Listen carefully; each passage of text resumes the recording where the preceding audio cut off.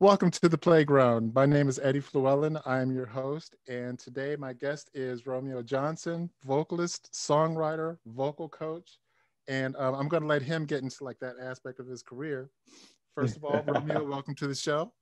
Thank you, brother. Good to be here, Eddie. Thank you so much for being here. I'm going to start out by asking you, as far as like this whole pandemic that we're in right now, how how are you how are you doing with that? Uh, personally, I'm I'm very blessed, brother. I have uh, I have endured it very well. God has provided for me.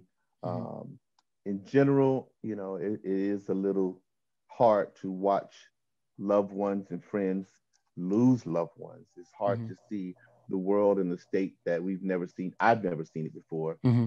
So, mm-hmm. you know, when I look at the world, it's a little, it's a bit of a downer. But personally, uh, I've been blessed. You know, my mm-hmm. my, my, business has uh, has mm-hmm. continued to to remain steady throughout this mm-hmm. whole year, mm-hmm. and uh, God is providing. Yeah. Good, good. Um, uh, as, as I remember we were talking earlier as far as um, you know what it was like that first day, you know. And for me yeah. personally, when when things like shut down and everything, and driving along like that 15 freeway here in Las Vegas, and right there on the freeway, you see like the the garages that that are like right there where the you know where the you know the, yeah. where the casinos or whatever, mm-hmm. right? And I mm-hmm. just having to look over, and there's like not a single car in the garages, you know, it, which is like, it, okay, this is for real. This is seriously for real. Exactly. I so, I think that was the. uh that was the thing that made me realize how serious it was and and kind of spooked me at first because mm-hmm. like i said um you know uh, when it first happened and as you said when the the, when the strip shut down that mm-hmm. was like I, that was inconceivable i mm-hmm. literally had to go i'm like i'm gonna go drive and see what this looks like and I almost uh, I didn't because it was a it was like a ghost town it was scary uh-huh. and that was my first point of almost panic because my first thought was well, of course, if people are being laid off and shut down, the first one of the first things they're going to stop is vocal lessons. so uh, I'm like, that's mm-hmm. that is my primary source of income. I coach almost on a daily basis to people around the world, mm-hmm. and I thought this is not good. Uh, and I braced myself. You know, it's like mm-hmm. I'm going to be getting these calls, and the, the very next day I got that call. You know, this one client called me and said, Romeo, I'm sorry, bro, I got laid off and I'm gonna have to stop, you know, with my daughter's lessons for a while. I was like, mm-hmm. I totally understand, brother. I'm sorry you got laid off. And I hung the phone up. I'm like, here we go. Mm-hmm. Mm-hmm. Here we bring go. It on. Here bring come. it on. You know, here, bring it on, right? and bro, within 48 hours, I think I had about eight clients to hit me up and say, Hey, are you accepting new clients? Uh, I want to start taking lessons now. And it it totally flipped. It was the complete opposite of what I was expecting and uh, I realized a lot of people expressed me like I've always wanted to take lessons. I'm mm. kind of we're stuck at home now. Mm-hmm. I don't have anything else to do. I'm gonna take this time to better myself and do something that I've always wanted to do rather than sit around and just be mm. depressed. Mm. So it kind of worked in the opposite way that uh-huh. I thought. Thank God, but you know, I'm so used to God providing for me, man. I mean, it, it shocked me at first in a pleasant way. Uh-huh. And then I realized that's just kind of how he's been in my life for my whole mm. life, you know. Mm-hmm. Mm-hmm. Mm-hmm. And it's kind of interesting that though too, because to your point, like now, you know, people are like realizing that, hey, you know, I have nothing to do. This is my time to do what it is I've always wanted to do. Or, you know, right. like those those people that, you know, have like that long grocery stuff, you know, hey, when I get time, I'm gonna do that. exactly. Well, now and you now got that's time. all we have. Right, right, right. So that's that's great. That's great. And your yeah. your your reaction to that, I mean, you things are like really picking they're picking up for you. They've been the completely I to be honest with you, I'm I've been busier since the pandemic than I was wow. before the pandemic. Mm-hmm. Yeah. Yeah. I know there's been a couple times where I called you. It's like, wow, okay, wow, he's really busy.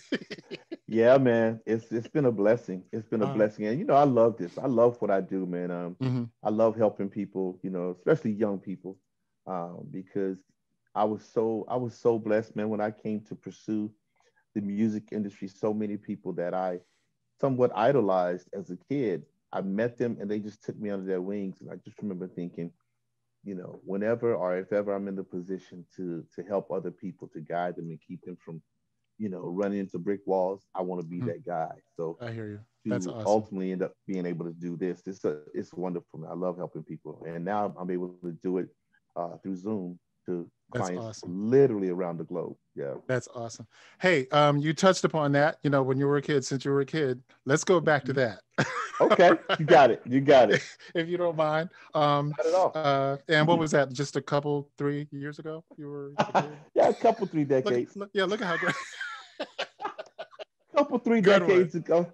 good one. Good one so so as as far as like uh, uh unlike like playing piano i mean i went and took lessons and all that for for yeah. a vocalist i mean how did that start with you how did you like um were yeah. you one of those that just like somebody like said hey you know you can say how did that start for you yeah i uh i grew up in a family that sang my mom sang very well mm-hmm. uh no one no one pursued it professionally mm-hmm. um therefore I didn't really see it as a special thing. You know, I came up in church and um, mm-hmm. my mom sang in the choir at church and she was the choir president at one point. And my pastor sang and his sister sang well. Mm-hmm. My siblings sang. So I just came up around singers mm-hmm. and I mm-hmm. would wake up every morning and hear my mom in the kitchen cooking or whatever and singing. So I would wake up to this beautiful sound mm-hmm. and uh, I would just mimic her, you know.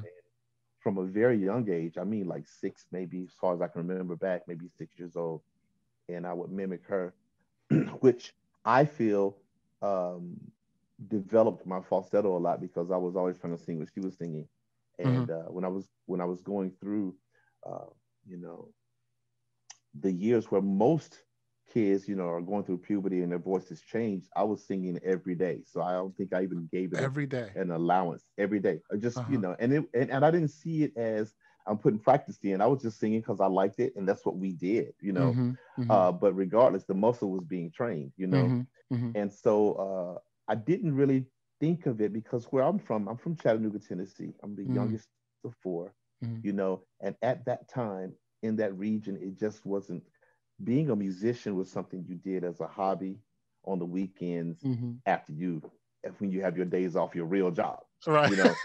So right right. like you go get a real job and you play with your little band on the weekend uh, over uh, there at the club uh, you know? And th- and that's so, what it was your little band. Your little band. Go do your little performance. Right right right. With your, uh-huh. with, with your little guitar. And your little friends. Yeah yeah and your little friends right right yeah, you go. To, but you know, when those street lights come on, you better be back here. You better have your little butt back. exactly. Exactly. Yeah. So, yep.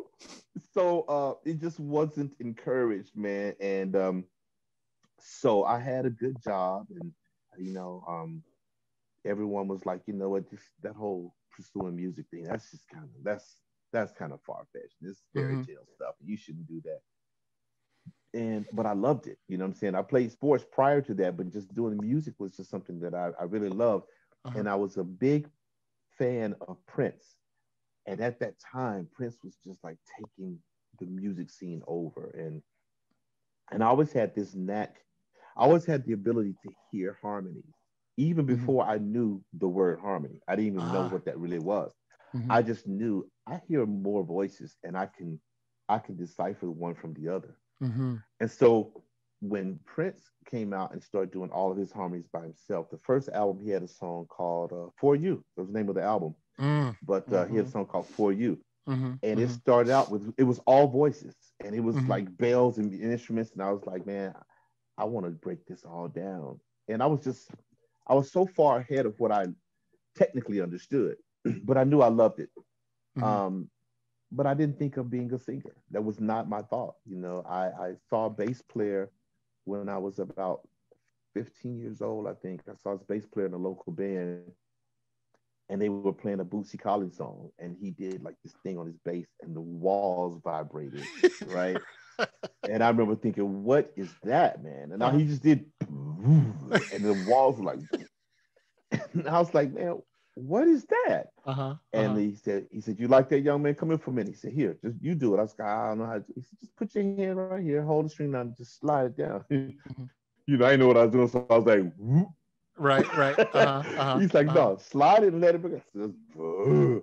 Uh-huh. The moment I did, I was like, that's it. This is what mm-hmm. and I ended up learning. My friend Sam Sims helped me learn, and I put a band together, and that was it mm-hmm. I wanted to do that thing, you know. Mm-hmm. And so I studied Prince, and I love the fact that he um, that he played instruments mm-hmm. and sang. You know, I love that. And then um, and then all of a sudden, man, you know, you know, everyone was crazy about Michael Jackson mm-hmm. at that time too. Of course, I like Michael, but I was uh-huh. a Prince fan. Uh-huh. You know what I mean? And because I love vocals, and because, like I said, I, I mimicked my mom so much that I had this falsetto mm-hmm. thing. So of course, I loved Smokey Robinson and I loved Eddie Kendricks. You know, mm-hmm. and and then all of a sudden, man, you know, this song comes on the radio, and I'm like, who is that? And I'm listening to this on the radio, and they go, "That's the new group called Switch," and I'm like, "Switch." Oh. I'm like, "Switch." Oh, my, okay. Oh, yes, right. you did. Okay. So I'm like, bro, I was so, man, what? I was such a fan, bro. I was uh-huh. such a fan. Oh my gosh, thank man. you. Thank you. You're welcome, man. But every concept, and I'm not, I, people who know me know that I'm telling you the truth. I'm not saying uh, just because it's you. I'm uh, honored to be on here, though. Oh, thank you, thank you. You know, thank you but, absolutely. Uh-huh. But man, when I when I heard the harmonies, mm-hmm. they blew me away. I was like, "This is beautiful," and then I was like, "This is," because that was one of the first times to me that I heard like groove. Because mm. back at the time, it was it was kind of a funk era. So you kind of heard funky tracks, grooves, mm-hmm. and like a funky vocal, like Slave and right, Cameo, right. oh yes. Mm-hmm. Or or you heard ballads and beautiful harmonies. Uh, you very rarely got to hear grooves and harmonies. So I was like, this is the best of both worlds.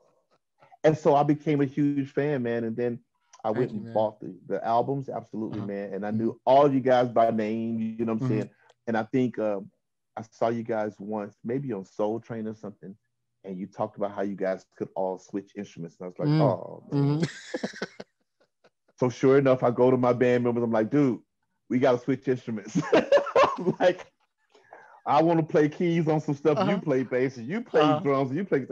So we definitely tried to. Uh, we got a lot from you guys to the point, man. I was, I was dressing like you guys. It was fun. I was I went from my my Prince look with, to to my blazers and my scarves and the open collar shirts. I was like, I was switched. I was smooth all of a sudden. You know? I, stopped being nasty and started uh, being smooth. Oh, that's funny. That's funny. That's funny. And you're you're speaking of the open collar shirts and all that stuff. Now, now I got to ask you now. Now, back when we were coming up, like looking uh-huh. back at it now, I kind of laugh now because I look at those shirts and it's like, man, how many hairs did we have on our chest? See, I think he had one I didn't have any, and we got the nerve to like open up our shirt so everybody can see that. I got to ask you, Bro. how many did you have on your chest? I have probably the same amount then that I have now. No, I had no hair on my uh-huh, chest. Uh-huh, uh-huh. And, and, we joke, it's like, what were we showing off? It's like, I was gonna say, I had no hair on my chest and I had no chest. I was like, check out these ribs. Check out oh, these sexy ribs, ladies. Funny. Uh-huh. Uh-huh. yeah, it was. But you know mm-hmm. what? You couldn't tell me nothing. But you know what we would do? We put a we put a nice little necklace right there. There. Oh my gosh, that's right. That's right. I forgot about that. You're right. You're right. Yeah. Bruh. Yeah. But you guys changed the game for real. You guys changed the game for me, man. Thank you. Uh-huh. you got that awesome. nice little necklace. Yeah. Yeah. Uh-huh. And, that, and that's uh those were the, the uh it was it was Prince it was Switch. Um, I mean, honestly, to be uh, personally, of course, I like everyone else. I love Marvin Gaye and Stevie Wonder, Luther Van. I loved everybody, mm-hmm. but for me personally, honestly, I can honestly say it was um, it was Prince and Switch, and then maybe later on the Deele. I like oh, the yeah. Deele. Mm-hmm. It was it was those groups that that made me think this is absolutely what I want to do, and I'm definitely going to go and pursue this thing. And so wow. I went to LA and I pursued it. Mm-hmm. Wow, wow! But uh, a so, bass yeah, player and, and singing, singing up there.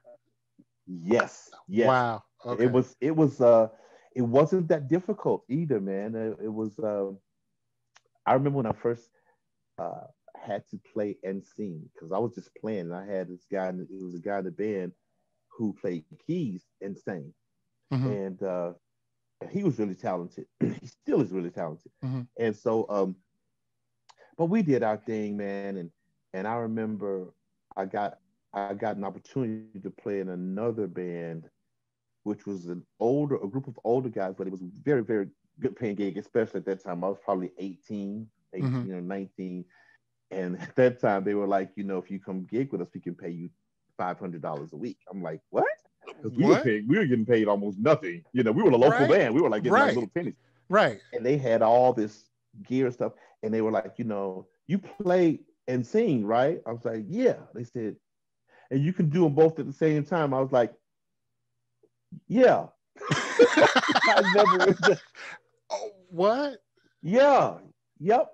And the first song that I ever learned to play and sing was Let It Whip by the Dazz Band. And I remember I sat down I was like, let me figure out how to coordinate this. How I need to figure out what note falls on what or what lyric falls on which note in order to make this make sense. Once mm-hmm. I got the hang mm-hmm. of that, then it was pretty easy. Uh, but I got some I got a funny a funny story to tell you. Okay. So I'm doing uh, a gig with the local band, mm-hmm. right? And I get off stage, and often people would come and say, "Man, you guys are tight. Where, where are you guys from?" I'm like, "We're here." They're like, "Where are you from?" I'm like, "No, I'm from here." And they go, "Really? You don't? You don't? You feel like you should be in L.A." And I'm like, "That's crazy. Have you ever been to L.A.?" I'm like, "I've never been on the West. I've never really been out of Chattanooga." Mm-hmm. This one guy walks up to me one day and he goes, um, "I want you to meet somebody, man. I got a I got a friend." He said, um, "Do you know?" the reason I'm saying this, man, is because you remind me of someone. He said, "You know the singer named Bobby DeBarge?" What? Uh, yeah. I oh said, "Don't tell me this." He, he said, "Yeah." He said, "You kind of remind me of Bobby DeBarge." I was like, "Man, that's the ah. biggest." One of the two people that you can blow me away with is Prince and Bobby DeBarge. Uh-huh. Yeah, what man, a compliment, said, though. That's a what a compliment, compliment. man. Uh-huh. What uh-huh. a compliment. He said, "Man, you know," he said, "I'm here in Chattanooga, but I'm from Akron, he said, and uh, my good friend played guitar for for Switch. And he's like, from Akron. He was from Akron. This guy's name was John Watts. He was an older guy, little short guy, tons of personality. Uh-huh. that said, name uh, sounds familiar to me. That's that's gonna bug me. Yeah. But, but anyway, I'm sorry. yeah, I will see if I can find a picture of him for you. I'll yeah. show you. Uh-huh. So, so he says, uh, "Yeah," I said guitar. I'm like, I'm like, wait, okay. So I know who plays what. I mean, like I know okay, Tommy plays bass, like all of them probably play little keyboards, you know. You know, I'm like, uh-huh. you got Jody, you got Eddie, you got man, you're running down all the I names. Said, right, right. I was like, wait, let me see, you got you got Philip. I said, Philip plays guitar a little bit. You talking about Philip? Like, no, no, no, no, no. He said his name is uh David Potus. We call him Little David. I was oh. like, David POTUS, little David. Oh my gosh, that's exactly it. You told me. little David, right? Little David, so, yeah. Oh so my said, I said, okay. Now you know what we did back in the day. We always read credits, right? So I went home and I was like, let me see if he's telling the truth. And I was like, mm-hmm. there's that guy's name right there. That's who he said. Mm-hmm. So the guy contacted me, John Watson. He said, man, we should go to, to Akron. I want you to meet him. So I ended up going to Akron, bro, and I stayed in Akron for several months. You and went stayed to at Akron? David Potus's house. Sure did. record setting winter. All times. I go there, man. We're, we're snowed in, man. Welcome to Akron. Giant. Welcome to Akron. So I'm like, man, I had some amazing experiences, but man, that cold had me as a grown man in tears, man. I was crying every day, yes. like, oh, oh, yes. I want to go home. I, I remember being back being in LA, and we were only there for like a few few, few years, you know, a few years, uh-huh. and and yeah. you know, getting all like all the news reports and all that stuff. The like you said, the record-setting winter that we were having back back home, yeah. and I'm like, oh, and of course we're in you know sunny California, sunny California. feel like, oh, I feel so bad for my people. Yeah, yeah. Call home. You guys okay? Okay. You I'm okay? not gonna tell you what the weather weather is here. Yeah, right. But, you know, you how guys, did in California? Never mind. Don't right. don't worry about it. right, right. How about those about Indians? Huh? They they doing good. so wow, wow, man. Okay. Yeah. So I stayed at David's house with him, and we uh, he and the the guy that I was telling you about that was in my band. It was uh-huh. the three of us. We put a little unit together, and we were killing, man. We practiced all. David, it was little David. Oh, little David Post character. What a character, man. Big time, big time. But can play his behind off. Yeah, man. With that little raspy little high voice. Yep, could play his behind off. And I got to tell you, I mean, play. even when we were kids in our first band with me, him, and Philip, we all played in our. That's our first local band. And mm-hmm. little David, um, I mean, the way that he could play, I mean, he could play like nobody's business as like what I think was like 15, 15, you know, 14, you know, mm-hmm. 14 years old, playing like that, you know. Wow. And I knew he was serious because my uh he his amp was it was a Marshall amp, you know. And you, you can imagine at, at that wow. age to have a Marshall amp, but not not wow. Um, well, there was no such thing as a small Marshall amp. I mean, he had like the right the, the deal and that was That's my like, introduction. That was like the rock stars amplifier. Totally, totally. Like, and that know, was my introduction. Eddie Van Halen. Exactly, exactly. And I was coming to find that out like years later. That was my introduction to, to Marshall as as like a, as a business or whatever. I'm like, wow. and you know, unlike like everybody else, you know, they had like the the the, the cushion PVs and, and all that. You know? Mm-hmm. So yeah, you know, to, to, have yeah. David, you know, playing guitar like that out of a Marshall amp, and I'm like, okay, this dude is serious. I mean, you at know, that age, wow, yeah, man, yeah, that is yeah. that's incredible. Yeah, that's incredible. Yeah. but you're right. He was serious. He was always serious about his equipment. Even when I was there, he was serious about his equipment, still his pedals and everything. He wanted to. He knew exactly what pedal to, to, to link up to what. I was like, uh-huh. Uh-huh. he was amazing, man. And wow. I had a good time in Akron. Man, I ended up. He introduced me to uh, who he called his second mom, which was James Ingram's mother, and we would go over uh, there on a regular right, basis. Right man. down the street, right? Right. Was that on on still on Fuller Fuller Street? Fuller Street. That's the name of it. Fuller it. Street. On Fuller I'll never Street. forget it. Her yep. house was white and it had green shutters. And uh-huh. man, uh-huh. that woman was so sweet to us, man. Mm-hmm. She mm-hmm. she fed us. And yep. uh, I was super skinny when I went to Akron. I was fat when I left.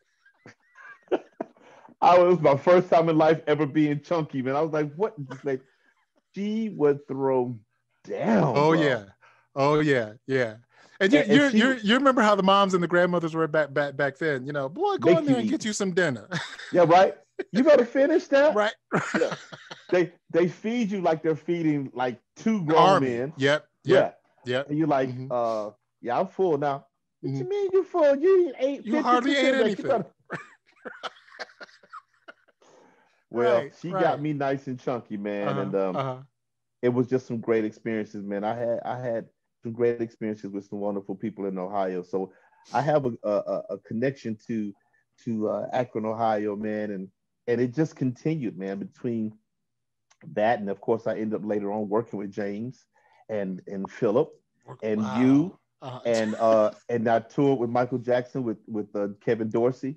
Uh-huh. And uh-huh. uh oh my god, I got you know, I got to tell you, Romeo, you you are so cool in the fact that, like you said, we've we've worked together and all that, and that that's where I am. Um, um, like like listen to your story now. I would t- I would tell people like you know, hey, I didn't know. People tell me I didn't know that you did this. I didn't know that you did that, and I'm like, well, I was never one of those guys that carried around a megaphone. I, I just did right. what I did or That's whatever. Right. That's right. And you're telling me all this, and I had no idea the whole time that we worked together. I mean, the mm. Akron connection that you And we have done full. We, you and I have done full gigs together totally, all night long, multiple totally, times. Totally, yeah. totally.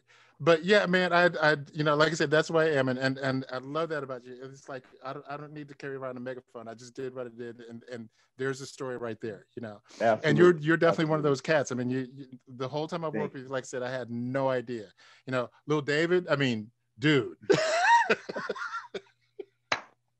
I mean, not even so much as a hint that I know. It, it, oh so, yeah, and so Eddie, funny. did you know that I live in Akron? No. Isn't that yeah? You know what? Now that you say that, that is funny because every time, uh, the first time that I stepped on stage with you and I sang with the, you guys, I think the first show was at uh, the Blue Martini yeah, Blue in Martini Vegas. In Vegas. Mm-hmm. Yeah, and I remember I'm, I'm, sure I told you. I think I went over there and I said, "Man, I'm a huge fan of Switch." I know I told mm-hmm. you that, mm-hmm. but at that time, you know, I, my mind is always so focused on the gig at hand, exactly. and all I wanted to do, I wanted to make sure that I stepped up that night and did what uh, Corey at the time had asked me to do. Mm-hmm. And uh, the professional that you are, what is that? You know, you know, right? so I was like, man, I just want to come in and impress, and and that's kind of been uh, what I've learned to do throughout my career and what I teach my um, my clients and my mentees. I'm like, you know what? When you come on a new gig, let them be impressed with your work 1st mm-hmm. and then later on the conversations will come. You mm-hmm. don't come right in and start trying to tell. You don't have to talk talk yourself into impressing them. Just do it. Do your mm-hmm. job, and then they're going to dig you, and then you'll get an opportunity. You know. Uh, yeah, that was my thought. I was like, man, I just want to come in here and, and do my thing. You uh-huh. know, and and uh, every gig to me is a blessing, man. Like I've never been I, I, never have understood those people who kind of carry this attitude. Well, I've done this gig and I've done this gig, so I'm supposed to come in with a certain amount of reverence expected. Uh-huh. Mm-hmm. And uh, you know, lots of people go, "I didn't know you toured with Michael Jackson." Mm-hmm. And you mm-hmm. know you, what you're doing this gig for? I'm like, "Cause it's a gig and it's fun. Mm-hmm. It's what we mm-hmm. do and it's what right. we love." You know, right? Right. What, what, are you talking about? So, mm-hmm. but I was I was honored, man. I was honored to be on the stage with you that night, man. man and, uh, thank you. Thank you. Yeah, yeah. Thank you. And I'll never. And, and, you're you're you're talking about like letting your work speak for itself, and then the conversation will come later. And I got to tell you, Romeo, every gig he came to, he came prepared.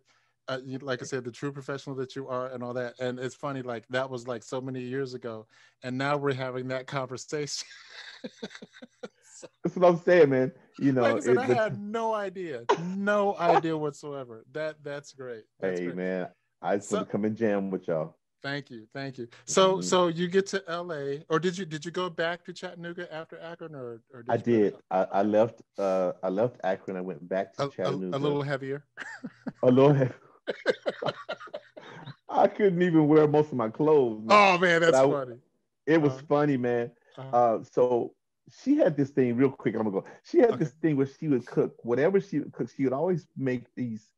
It was like cornbread, but she would make them like pancakes and that, oh. and then she have like greens and she have whatever meat she made that night. Mm-hmm, mm-hmm. Okay, let me stop because mm-hmm. I'm gonna go eat something right now. I know, I, I know. There's a name but, for those, and I can't think of what they are. But man, that's the best. That is so they good. Were, they were delicious. So, yeah.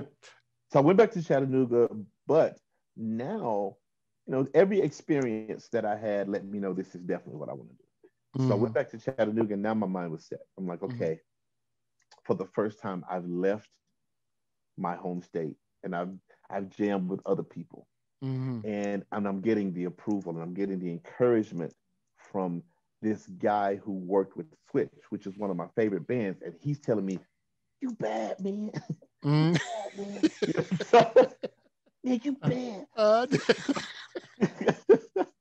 so you man, you're taking me back. Oh my gosh. Now, now I gotta reach out.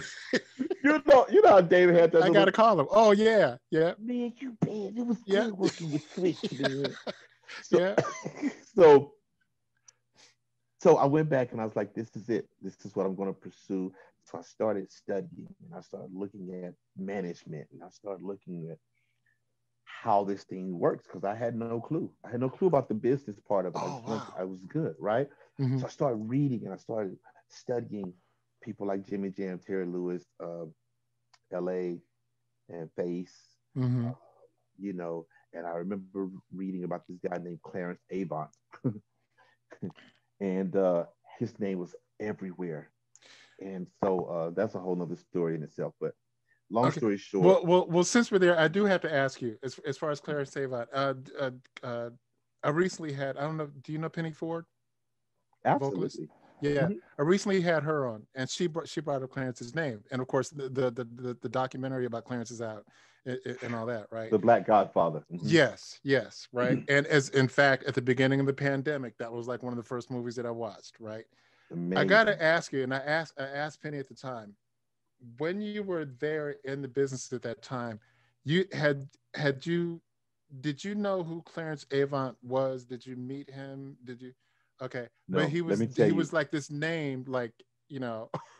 I have the crazy. You know, he's story. somebody. I'm I sorry. Have a crazy story. I have, I have a crazy story, man. Please do tell, please. it's in my book. It's in my book. By the way, I have a book. I'm gonna and, show it to you. Yeah, we, we're going to come to that, please. Yeah. Right, right. Okay. So it's in my book. so well, while we're there, young, please say the name the name of the book while we're there. The name of the book is "Following the Voice: Sounds Produced from Heaven." From I'll heaven. show you a copy yep. of it in a minute. Mm-hmm. Okay. So um, so I'm in I'm in Chattanooga now, and my mind is made up. This is what I, I don't know exactly how I'm going to do this. I don't know the steps to make, but I'm researching every day, right? Mm-hmm. And people in Chattanooga are trying to help me, but like I said, it's just not a place where a lot of people knew a lot about the industry. So mm-hmm. um, so I'm reading, and I'm reading the back of credits and albums and stuff, and I kept seeing, you know, management or such and such studios. All the studios was like Burbank and Hollywood. Mm-hmm. And so I'm like, I definitely got to go to mm-hmm. California. This is mm-hmm. it's, it's no way to get around this.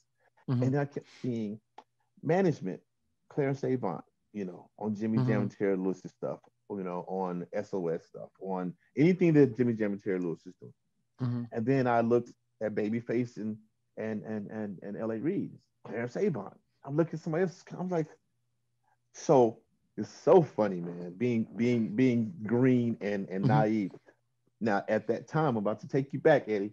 Mm-hmm. At that time, this was long before cell phones and all that stuff. Long before. Time, this is when this is when you had to call long distance from your home phone. It was an extra charge, right? And at this time, this is when you could call this number and it would give you long distance operators. And you say, uh, could you totally dating us now. dating us, right? Uh, long distance operator. Uh, you know, kids watching this like, what? right? It's right. like, uh, uh, yeah, so, yeah, yeah. So, uh-huh. uh, long distance operator. I'm like, uh, hi, uh, could you connect me to Clarence Avant's office in Burbank, California? Uh, connecting you to Clarence Avant. I don't even know why I did that. Wait a minute, from Chattanooga, you did this? From Chattanooga on my mom's phone, right? I'm downstairs in my little area. And so I'm like, what am I, what am I doing? I really don't know what I was doing. I don't know why I was doing it. And I just didn't think it was going to happen. So I'm sitting there. I must have been 19, I guess, 18, 19. So I'm like, ring, ring, Clarence Avant's office um, can I speak to Clarence, please?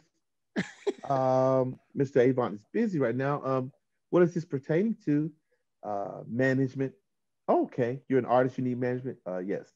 And what's your name? Uh, Romeo Johnson. Okay, is he expecting you? No, I don't think so. Well, hold on a second. Clarence Avant. No. Uh-uh. Check this out, Eddie. Uh, uh, click.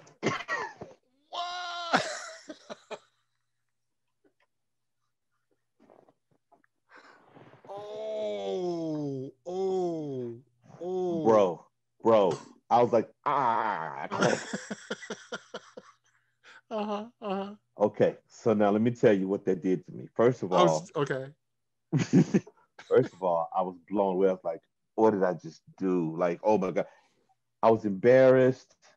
I was, I was everything. I had so many mixed emotions. I'm sure. But at, but at the end of it, what it did was it, it snapped, it snapped my mindset because being raised in Chattanooga, there was like this, there was like this thought that successful people are from other places. Ah. Mm. You know what I'm saying? Oh, to be in this business, you got to be in LA. You got to be mm. in New York. You got to, mm-hmm. you know what I'm saying? You're ah. not gonna, you can't come from Chattanooga. So I literally felt like people were intangible, unreachable. Mm-hmm. Mm-hmm. So I remember thinking, man, what did I do? What am I doing? Why do I even call him? I don't even have anything prepared. And then all of a sudden something goes, but if you did, you got through to him. If you did have something prepared, so go get something prepared. Uh, and now that you see people are reachable, touchable, attainable, go for it. So it completely opened my mind up. And then I thought, I'm gonna get myself together. Uh-huh. And I and I did that, you know, and that's when I pursued it. I've never to this day met Clarence Avant and I know so many people who know him. Really? Yeah. And, wow. and check this out. When that doc when that documentary came on and I saw it, I was embarrassed all over again because I'm like, oh my god, I brought that feeling all over. I'm like, he's ten times huger than I ever thought he was. Uh huh. Uh huh. Because uh-huh. he, he's done so many things that I had no idea, man. But it, yeah. he was he was one of those names. I remember like us coming up at the business, all this stuff. He was one of those names that you always heard and yeah. you knew he was in the business, but never yeah. had I never had the opportunity to meet. He was almost like yeah. God. It's like okay, he's, like a, he's exactly here, like a wizard, you know. like a wizard, like a exactly, hidden, like exactly, a, you exactly. know, like who is he? Uh, mm-hmm. Yeah, mm-hmm. yeah, he's like, like you, Charlie from later, Charlie's Angels. Mm-hmm. Like years later, you know, th- there's this movie about him, and then he did like all this stuff or or whatever. And man. I'm like, man, man, man. Yeah, and even P- outside Penny, of music Mm-hmm. And Penny was the same. When I when I, I asked her when she first brought it up, I asked her, I'm like, had you ever met him? And she's like, no. And she's like, he was again, he was that name that we all heard, you know, and the blessed few got to actually be in the room with him, you know. But what yeah. a lesson for yeah. you. I mean, and that should be a lesson to like those that are up and coming. And eh, that's one of the things I like about this show because I like, you know, for those that are up and coming in the business, you want to hear from these people, you know. Yeah. Yeah. You want to hear from, and that's a great story. It's like, like you said, he's now reachable, you know. So yeah. if I can reach this guy, you uh, know, this guy, right? Mm-hmm. It, mm-hmm. it, gave me, it gave me confidence to really go for it. Mm-hmm. And uh, when I went to LA, man, uh, I got, I knew no one. Mm-hmm. I didn't have anything. And that you didn't shrink I, from that, Romeo. I mean, you did not. You didn't let that like break you. You know. No, no, mm. I didn't, man. Um, I just had this belief, man. Uh, I, I, really, I've always had a relationship. I was raised, you know, trusting God and learning mm. to have a close relationship with Him. But I've always had this feeling that He He had He had me covered, you know. Mm-hmm. And when and when I was, my spirit was spoken to mm-hmm. I just moved on it. You know what I'm saying? And that was one thing that was instilled in me, probably from being uh, my parents' son and being the youngest of four. it just trickled down that much more from each sibling as well. Uh, mm-hmm. you know, we just felt like, you know what, if it's if it's spoken to you or you feel like God has spoken to you, move. And mm that's that's kind of the basis of my book, Following the okay. Voice, is what I'm talking mm-hmm. about. Mm-hmm. Being that I was the vocal coach on the TV show The Voice. A lot of people think, think that the book is about what I've done since I left the show. But mm-hmm. the book called Following the Voice is literally talking about how I followed God's voice throughout my whole career. I've never mm-hmm. had a manager and I've never had an agent ever.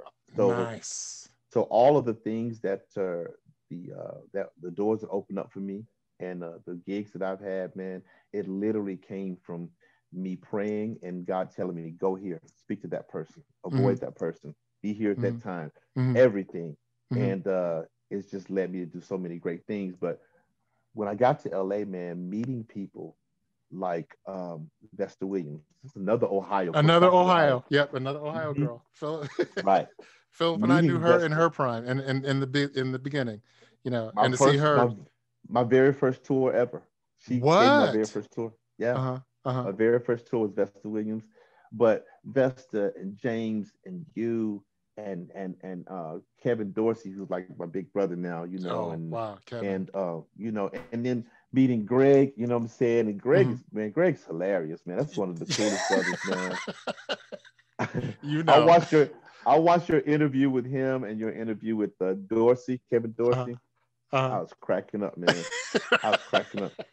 Yeah. And it's hey. funny on both of those interviews going in, I knew it was gonna be like you. It's man, it's gonna be hard for me not to laugh. and I mean, the, the, dude, I mean, the place you took me in this interview, man. I'm like, wow. I didn't expect yeah. to go there. I did not expect to go. Yeah, there. man. Yeah. Um, so so you're you're in LA now, and and are you are you performing a lot like with because uh, I'm like you you started like the list of people that you work with with, with Vesta. I might have here yeah. Jody Watley, Sheena, um, mm-hmm. Michael and Janet Jackson. Yeah, you yeah. you toured you toured with them. Both you... of them. I toured mm-hmm. both of them, uh, and uh, you know that was another major blessing. I'm actually the only singer that ever toured with both Janet and, and Michael. Ah, wow. Yeah. Okay. Yeah. Uh-huh. But uh, I, when I got to LA, I literally got there and I was in men's retail. And I thought, you know what, I'm gonna go, I'm gonna work, I'm gonna sell suits and I'm gonna chill. So for like Oh, you mean you're gonna have a real job now? I had a, yeah, I gotta get a real job. Right. so yeah, I, uh, yeah, enough with that yeah, little music thing you're doing. Yeah, forget the little the little music thing right. with your little friends. Right, right. Uh, Go get you a job when you finish playing with your little friends at right, the little right. music thing. So, right. and look, it's so disrespectful. It ain't even little. It's just little. Right, right. Go get your your little. Go right. out there with your little your right, little right. Uh-huh, uh-huh. Doing your doing your little music. Exactly. Exactly. so, yep. Yeah. So I come to LA and I I get a job. I'm like, well, let's just let me get acclimated and see mm-hmm. what it's about because there was a culture shock. It was totally different in every way. Mm-hmm. And so I was working, I was kind of feeling it out. What's this like? What are people like? Because, uh, you know, Chattanooga, Tennessee, you see each other. If you get eye contact, you just go, hey, how you doing? Mm-hmm. How you doing? Mm-hmm. California, you say hi to somebody, looks you like, do, do you know me? Right, right, so right. I had to get used to all that. Uh-huh. Mm-hmm. And mm-hmm. so Marla Gibbs had a spot called Marla's Memory Lane. Um, oh, and that's man. where, yeah, that's where oh. it's like a lot of, you remember that? Uh, they yeah. had like their little talent shows once a week. And I would ask people like, uh, if, where can if, I go? If, if y'all, if, if you guys missed that, he did say that's where they had their little talent shows. I'm just saying. Anyway, moving on. You I did. So they had the, the little talent show. That's where they had the little talent show. the little talent show after they got off from their real job. Right, right, right. so, uh-huh. so I went there and I started watching it. And I was basically trying to gauge where I fit in. Mm-hmm. basically what I was doing. So I'm like, I want to see what this talent is like here and how people respond to it. And it was good for me, man. I went in, I was quiet, I tucked myself in the corner and I watched people perform. And I remember comparing, you know, and I watched mm-hmm. one singer and I would go, Ooh, okay, jeez, mm-hmm. I gotta practice. I gotta practice. Like I really love how he did that and how he's, you know, he's, mm-hmm. he's commanding the crowd. Well, okay, I mm-hmm. gotta put some work in. Mm-hmm. Then I see someone else go up and I'm thinking, yeah, all right. Mm-hmm, mm-hmm. I, I, I could get them.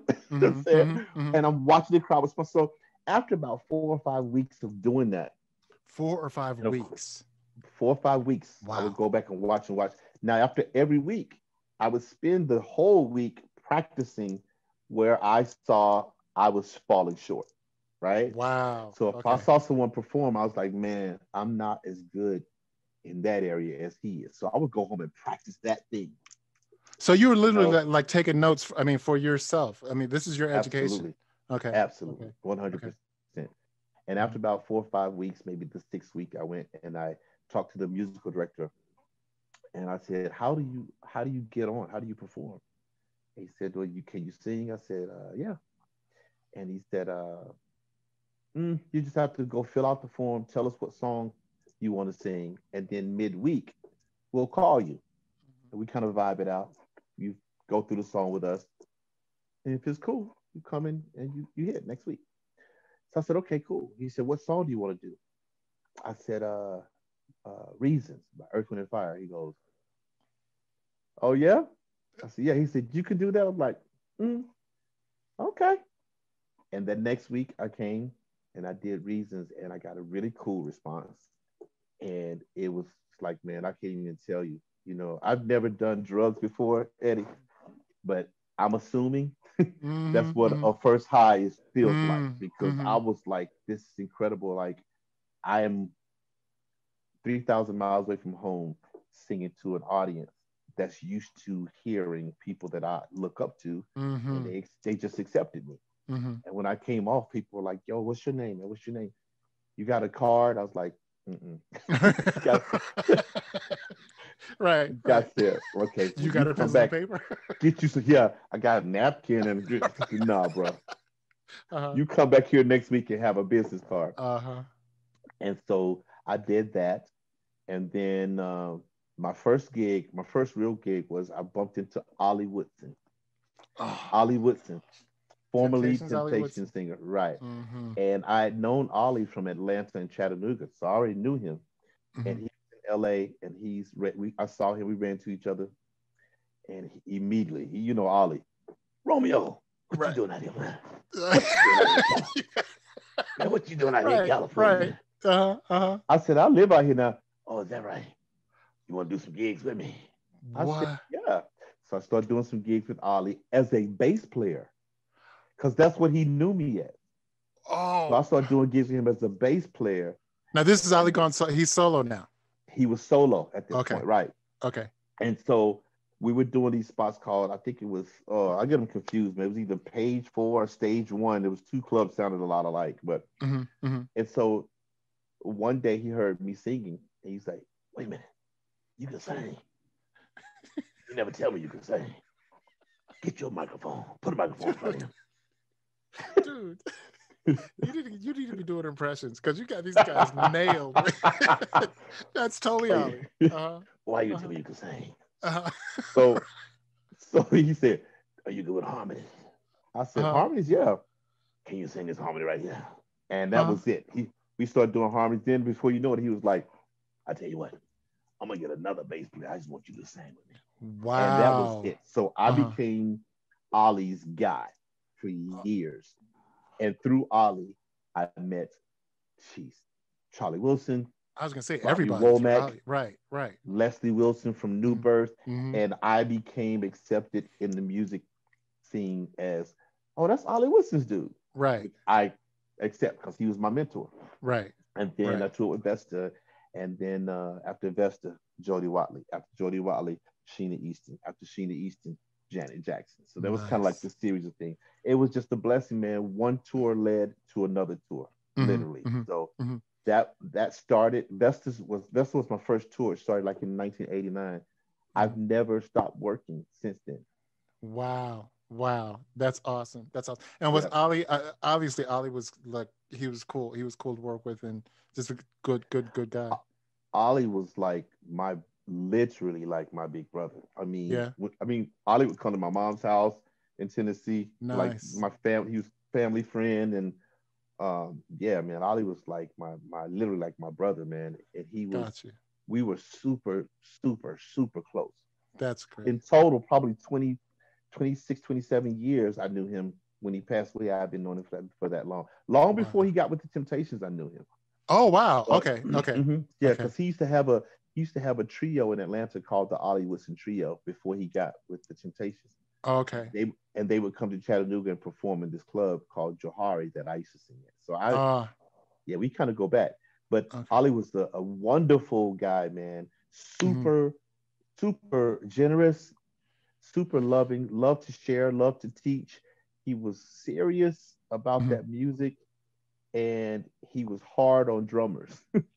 Yeah, he was hard okay. on drummers because mm-hmm. he's a drummer. He's mm-hmm, a drummer. Mm-hmm, mm-hmm, so he was hard on drummers, and if you if you're in his band and you're making mistakes, yeah, he can be rough. But really, uh, really, yeah, or, okay. or, he can he can be rough, but he's a he's a he's a he's a sweet guy. But if you uh-huh. messing up, he gonna let you have it. I remember when I first saw Ollie with the Temptations, and and and my the first words out of my mouth, if there's if there's anybody who could have been like who was in re- a replacement, who could have David been Ruffin. original, that would that was Ollie. Ollie was like such a natural temptation to me. I mean, you he got fit that right. him like a glove. I know? agree. Yeah, I agree. yeah. So I agree. He he was uh, the closest to a David Ruffin yeah, energy yep. that mm-hmm, you could get. Mm-hmm. And he just had a swagger about him. I mean, you what you watch him on stage, man. He just had like this thing about him that was like, dude. his swag was on a billion. Yeah, yeah. At yeah. all times. Yeah, at all yeah. times. Awesome, awesome. On and off stage. On and off stage. Absolutely. Cool cool. Yeah. so so let me ask you. So now you're you're touring with all these people. You you you talk about gaining experience and talk about like the teachers that you've had like over the years or whatever. Um, mm-hmm. I want to ask you about the sessions. You you've done a lot of sessions naturally. You've done a lot of sessions well, and I have like a list of people. I mean, the scope of people that you've worked with. I mean, we're talking like singers, mm-hmm. rappers.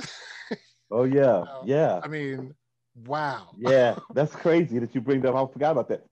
Yeah, so being on the West Coast, uh, you know, that West Coast rap thing mm-hmm. was really popular. And mm-hmm. um, so I met these young ladies who were amazing singers. And uh, and so I'm still friends with them now. One's name is Tracy Nelson, one's mm. uh, Skylar Jordan. Uh, and then later I met another one named uh, Monet. Mm-hmm, mm-hmm. and those between between you know Monet, she's here in Vegas now. Uh-huh, but uh-huh. if but between those um Monet Owens, by the way, mm-hmm. between those three girls, they were being called to do a lot of the vocals on the West Coast rappers uh, records. Tracy, I know for sure. Tracy grew up with with Dr. Dre, mm-hmm. so they mm-hmm. were friends from when they were young, mm-hmm. and so we started to do gigs together, and they uh, they were impressed with my ability to blend with them and they were impressed with the fact that uh, I could sing really low or really high. Mm-hmm. So uh, I guess I don't even remember which artist I worked with first, but they started to just share my information to the West Coast rappers, and mm. before you know it, they had me on Ice Cube's records, Mack 10, uh, Xzibit, what's his name? Uh, Nate Dogg, mm. Snoop Dogg, Snoop, mm-hmm. all the dogs. Did you me to Yeah, all the dogs. all dogs. Yeah, that was a brand. right. Uh-huh, uh-huh. Um, mm-hmm. Yeah. Um. So I yeah, mean, man. With, I mean, with the gam. I mean, you worked with like the whole, the crew. Man, it was. It's been such a blessing, and one thing that I think uh, you probably agree coming up doing cover bands and stuff as kids, it makes you so versatile. Mm-hmm. You know, I played bass with Adam Ant for a while. You know, um, yeah. Wow. Yeah, uh-huh, yeah I uh-huh. played bass with Adam Ant. I did, uh, you know, just doing the, the gig from doing a. I did. I toured with MC Hammer. mm-hmm. I mm-hmm. did MC Hammer, but to go. From, did you sing or play with MC? Uh, with him. Uh, MC Hammer. I sang. I sang. okay. Okay. I sang. Now, but are you still playing go, bass? You know what's funny, man? I'm rusty. I do play sometimes. I'll pick it up. I got basses all around. This is crazy, man. I'll show you. Look at it. Look at it. There they are. basses all around me, man. Uh-huh, Where's my uh-huh, bass? Oh, there's uh-huh. yeah. That was hiding a little bit. There she is. But, there uh, she is. Uh-huh. So they're all around me, man. Um, but the funny thing is, man, one of the one of the my favorite bass players and one mm-hmm. of my favorite uh, uh, one of the people that I'm impressed most with as a bass teacher mm-hmm. is Sekou Bunch. You know Sekou Bunch? Oh yeah, he he he uh, did a few gigs with us on uh, while we were out playing. Yeah, with Switch. Sekou, I great bass player. Man, I literally didn't he play with Stevie for a minute? I man, I think I think Sekou has played with everybody that's ever yeah. sang. If you uh, ask me, he's right. done so many gigs. Mm-hmm. But I just reached out to him. I was like, Sekou, man, I want to take bass lessons. I want to get my chops back up because I've gone so long focusing on vocals that when I pick my bass up, it feels foreign to me now. I'm like, it doesn't mm-hmm. feel like it used to just feel like an extension of me. Mm-hmm. Mm-hmm. But uh, but I'm gonna I want to get with him and get my get my my chops back. Wow, wow, that's that's great. There's nobody better. Uh huh. so so let me ask you. So and again, I was I was talking about like this list of people that you both performed with, that you recorded with, or whatever. How do you yeah. go from all that and then you come to vocal coach? Right. How, where, how, Again, did, how does how does the coaching how, how did how did that happen? How that come about? So here's what's funny, man. Um, you know that saying where they say, if you want to make God laugh, tell him your plans. oh, right. So the, yes, I've heard that. the the thing that I feel that again, following the voice, I had my mind set. I believe that in my life, God has led me to to get where I want to be and where he needs me to be without allowing me to think that I'm in control. Right? Ah, nice. So when I when I left Chattanooga, I knew that I was going to be a bass player for somebody. I was a huge fan of all the bass players. Mark mm-hmm. Adams from Slave and Cedric Martin from Con Funk Shun and mm-hmm. you know mm-hmm. Tommy DeBarge from Switch. You know what I'm saying? So I had all these guys that I looked up to. And and when I got to LA, um, I did a couple of gigs as a bass player. You know, I did I did Jody Watley, I did mm-hmm. Sheena Easton. Um, but when I got hired, by the way, the, the first gig that I did was Vesta as a vocalist. But when I got hired with Janet Jackson, obviously it was a vocal gig. And that tour was so big and it was so covered by MTV and it would lasted for mm-hmm. almost three years. Mm-hmm. By the time that tour was over, everyone knew me as a vocalist. People forgot I played bass, so I mm-hmm. continued to get called as a vocalist. Mm-hmm. And and then when they start to understand that I understood harmonies and blend and how to put sections together and how to put arrangements together, thanks to Valerie Pinkston and thanks to Patrice Rushen, who helped me a lot with understanding arrangement. arrangement. Mm-hmm. I started to get called for um, vocal contracting um, and and sessions, right? Mm-hmm. And so eventually, someone people started to ask me if I could help. You know, can you help my daughter? She's trying to learn how to sing. And I'm like, sure. I wasn't charging anything. I was just helping. And uh, I realized that that was something that uh, that I was anointed to do. Like nice. I, once I heard a, a few, once I heard a few people say, wow, I, I could never understand it before, but for some reason you make it, you make me understand it. Mm. And I was like, wow. And I realized when I'm teaching, that God would give me sometimes analogies in the moment that I'd never thought of before. Nice. Right. And mm-hmm. I felt like, okay, this is proof to me, in my opinion, that God is like, this is, I'm supporting you in this. You know, mm-hmm. if you do this, then I got you. I'm going to speak things you don't even know to speak. I'm going to uh, break things down in ways you've never broken them down before. And it allowed me to teach every artist or every client individually.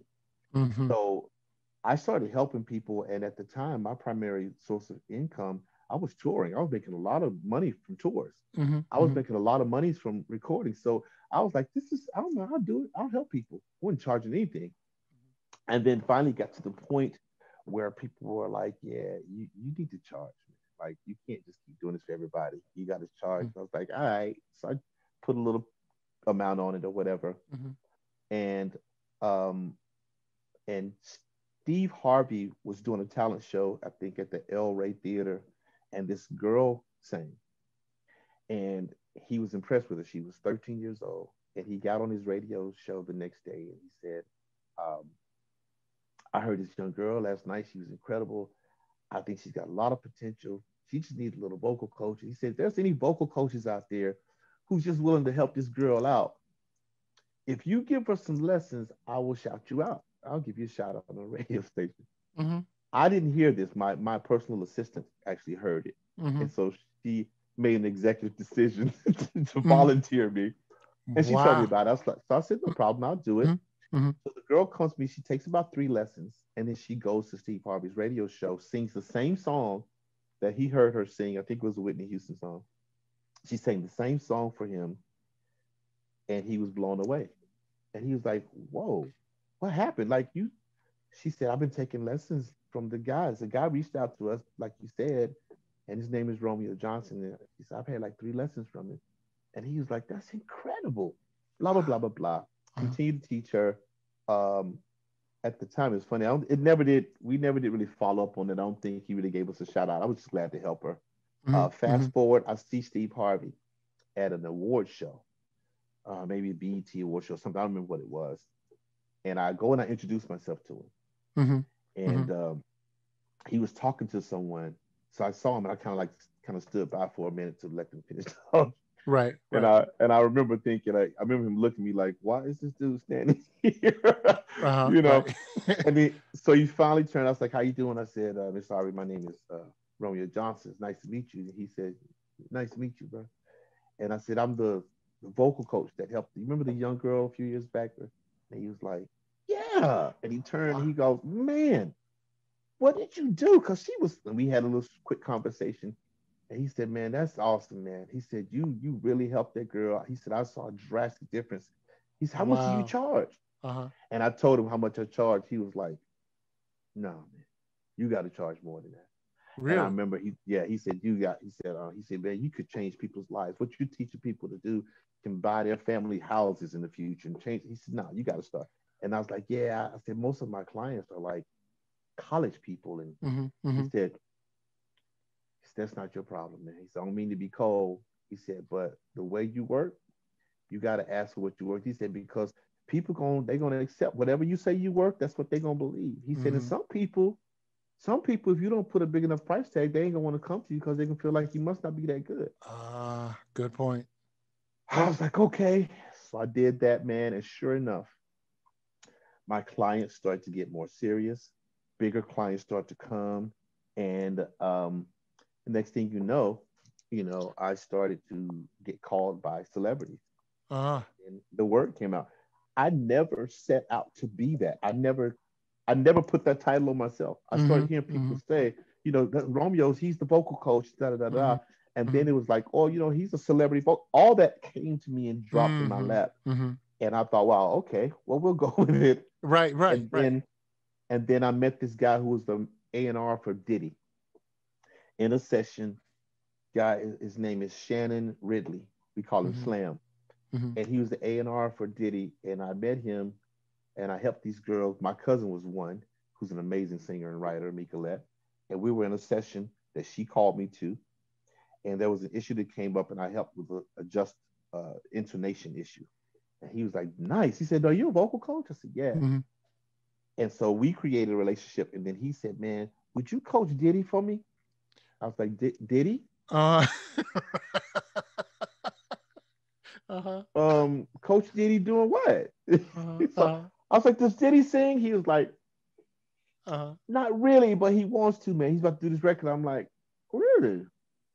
I said, oh, okay. He said, Man, if anybody could do it, I think you can, man. Do it for me, man. I was like, Let's talk about it. Long mm-hmm. story short, we meet. I meet with Diddy. We work it out. I coach him. I coached him for about four sessions. And then he asked me to coach Cassie. I coached Cassie for about two sessions. And then um, something I, I failed to mention, I had not discussed money at all, which is something I never do. I never go into a job without getting everything straight up front. Mm-hmm. And so I did not discuss money at all. It, I just didn't. I didn't talk about it. And uh, the young lady that I was dating at the time, I remember she was like, "What are you going to charge Diddy? What are you going to charge Diddy?" Mm-hmm, mm-hmm, like, right. I, am gonna charge him what I charge. Right. You can't, you can't charge Diddy the same you charge everybody else. He won't respect you. And I, right. I said, yeah, but right. I can't charge him more just because he's rich. That's just right. My service. I said, I, I, don't feel right doing it. Well, you need to. And it became this big argument. And I was like, yeah, I'm gonna have to pray on that one. And he approaches me, and I never, I never settled what I was going to do. Okay. So when he said, uh, hey Rome, I'm headed to New York for a few days. He said, but Cassie's ready for you to come in and do your lesson. I said, okay, cool. He goes, by the way, man, I haven't paid you yet. He said, it's like six lessons in. I don't even know what you charge, man. What mm-hmm. do I owe you? Mm-hmm. And I remember thinking, oh snap, I never did. Uh, uh what am I gonna say, right? and so right. I look Eddie, and uh, this is one of those moments, man. I talk to people about a lot of times when, when, when, you know, well, clearly case you haven't figured out yet, I'm a Christian. yeah, right. right. Uh-huh. so, so this is one of those moments where I feel like the Holy Spirit spoke through me. You know, and I don't feel like I know because mm-hmm. what came oh, yeah. out of my mouth, what came out of my mouth never, never was a thought process 1st uh-huh. and and it wasn't even a phrase that I would even say. You know, so Diddy says, "How much do I owe you?" And I was like, oh snap, what am I gonna say? Boom, out of my mouth comes, bro, don't pay me anything. The the value of your endorsement is far more than I can put on these lessons. What? what the hell did I just say? What am I like? uh-huh. Uh-huh. Huh? Uh-huh. I'm like, it's like out of body experience. I'm like, what right. did I just say? Right. Right. Right. Diddy looks at me like, are you serious? Uh, yeah. Eddie, I'm sitting there as I'm saying this. In my mind, I'm picturing the stack of bills that's at my house on the table right now. And I'm like, what uh, am I saying? I have uh-huh. bills. Like, um, and he goes, okay, that's what's up, bro. He said, you sure? Yeah, because I'm like, what am I gonna do? I can't back out now, right? Uh-huh. So he goes, all right. He said, okay, all right. So he's like, I'll see you next week. And for two days, I wrestled with that man. I'm sure you did. You know, I'm sure when I did. got home and saw those bills on the table. I'm like, what in the world? What uh-huh. I'm thinking. Uh-huh. And so uh, I just kept thinking, man, I don't know why I did that. And then, of course, after a minute, I'm like, well, Rome, if you know that that didn't come from you, that had to that had to come from God, right? You know, it mm-hmm. came out. So I'm like, you just got to let that go and, and trust mm-hmm. that whatever reason you that blurted out of your mouth is the reason. Mm-hmm. And then shortly after that, I got a phone call, and it said, "Hi, Romeo. Uh, my name is blah blah blah from MTV. We're doing a new television show with P Diddy and Mark Burnett are co-executive producers, uh, and it's called Starmaker." P. Mm-hmm. Diddy Starmaker, and Mr. Sean Combs said that no one is to be the vocal coach on this show but you if you want the job. So do you want it? And boom, changed my life. I'm sure. I'm changed sure. Yeah. Wow. Yeah, changed my wow. that was my first first television show of a few. The first yeah, I was gonna say the first of many. Yeah. Yeah. Yeah. Yeah. That's that's something like you said, I mean, literally an out of body experience, you know, where, where you know, I, okay, this isn't Romeo, but whoever this is, I'm going to let you go on ahead and finish this conversation. exactly, because I don't know what to say. I definitely didn't know what to say that. Right, right, oh, right. I'm like, who talks like that? man, man. So, the value of your endorsement, right? See what I could put on it. What? I'm like, God, could you have at least made it sound like something I would have uh-huh, said? Uh-huh, uh-huh. That that experience though, that's you've got that that is in your book. Yes, absolutely. Good, good. Absolutely. Yeah. yeah. And I don't absolutely. know if that book is near you. Um, yeah, hold on. Let me see if I can grab okay, it for you. Yeah. I gotta be around. I keep them around. Excuse me, people. Excuse me. All Sorry. Good. All good. Mm-hmm. so funny. I'm sorry, people. I'm coming back. You would think a, a, a, a prepared person would have it with them. No, no, no it's all Damn. Ah, there, there it is. Go. There it is. And we can order That's that. It. Is that available on Amazon and all that? It's all available on Amazon, but if you want to get it autographed, you can go straight to romeojohnson.com. There you go. There you go. That's it. Awesome. Awesome. Beautiful. Beautiful. Thank you. Man, man. Romeo, let me ask you this as a, as a final question, and and you mm-hmm. you, you kind of covered it, but those for those that are up and coming in the business or whatever, and and it's it's kind of difficult now because of the pandemic or whatever, or maybe maybe it's not. But what uh, what what advice would you offer those that are like up and coming, like in the business, whether they be a singer or an instrumentalist or whatever? What advice would you mm-hmm. offer them? Man, uh, the one the, the some of the most important things that I talk to my young mentees about uh, is number one, it's hard for them right now, I think. Uh, the difference between us when we were coming up and, and kids today is a drastic difference in we were so eager to learn and so proud to say who we learned from. Mm-hmm. You know what I'm saying? So you, you, couldn't give someone a compliment. You know, man, those are some dope chords you play, Eddie. Man, mm-hmm. such and such taught me this. It's just mm-hmm. it comes mm-hmm. out, right? Mm-hmm. Mm-hmm. And we still to this day, even at the age that we are now, you know, I'm 57 years old.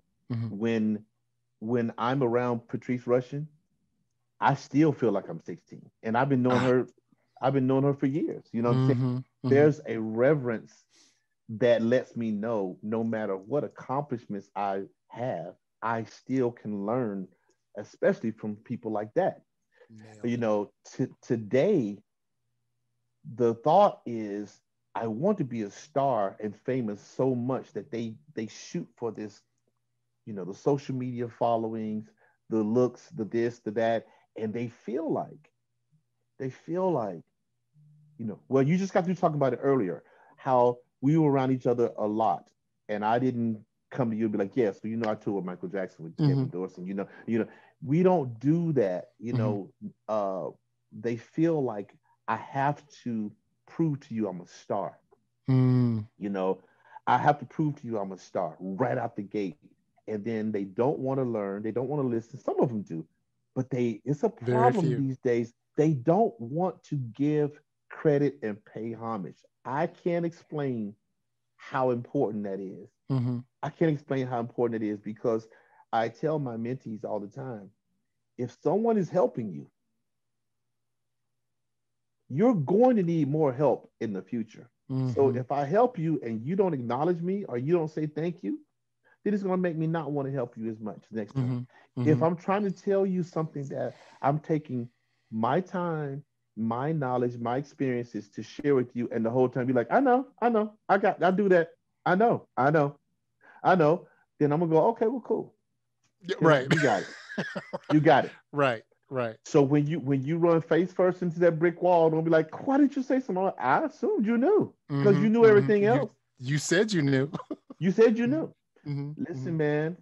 I mean, like I said, I still respect Kevin Dorsey. You know what I'm mm-hmm. saying? I still respect Patrice. You know what I'm saying? I still, when they speak, you know, I mean, all but only only reason I don't call them ma'am and sir is because they probably don't want me to.